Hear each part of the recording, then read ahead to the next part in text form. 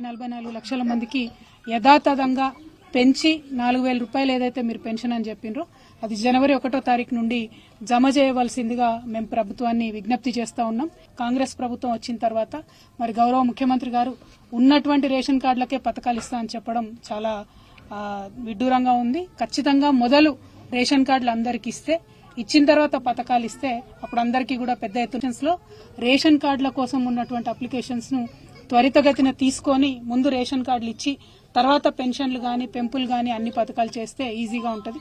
రైతు బంధు ఇంకా పడలేదనేటటువంటి చర్చ గ్రామాలలో జరుగుతూ ఉంది. దాని పట్ల కూడా ప్రభుత్వం సానుకూలంగా స్పందించాలి. అదేవిధంగా మరి మొత్తం అప్లికేషన్ ఇవాళ చూసినట్టయితే నిరుద్యోగ భృతి గురించి ఎక్కడా కూడా చెప్పలేదు.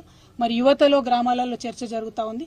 నిరుద్యోగ భృతి నాలుగు వేలు ఇస్తామని చెప్పిన కాంగ్రెస్ పార్టీ మరి ఎందుకు అప్లికేషన్లో నిరుద్యోగ భృతికి సంబంధించినటువంటి కాలం పెట్టలేదు అనేటటువంటి చర్చ కూడా జరుగుతూ ఉంది. సో ఎస్ కొత్త ప్రభుత్వం వచ్చింది. ఖచ్చితంగా సమయం పడుతుంది. అందులో అనుమానం లేదు. కాకపోతే ఎగ్జిస్టింగ్ సిస్టమ్ ఉన్నప్పుడు నలభై నాలుగు లక్షల మందికి ఆల్రెడీ పెన్షన్ వస్తున్నప్పుడు వాళ్ళకే డైరెక్ట్గా పెంచి నాలుగు వేలు వేసేటటువంటి అవకాశం ఉన్నప్పుడు మళ్ళా అందరినీ అర్జీలు పెట్టుకోమని అనడం డబుల్ డబుల్ పని అవుతుంది ప్రజలకు ఇన్కన్వీనియన్స్ అవుతుంది అనే ఉద్దేశంతో మేము ప్రభుత్వానికి సూచన చేస్తూ ఉన్నాం. మరి జనవరి ఒకటో తారీఖు తర్వాత కరెంటు బిల్లు కట్టకుండా రెండు వందల యూనిట్లు వచ్చేటటువంటి మన సోదరులందరూ కూడా కరెంటు బిల్లు కట్టకుండా ఉండండి. ఎందుకంటే అవకాశం ఇస్తామని ప్రభుత్వం చెప్తుంది.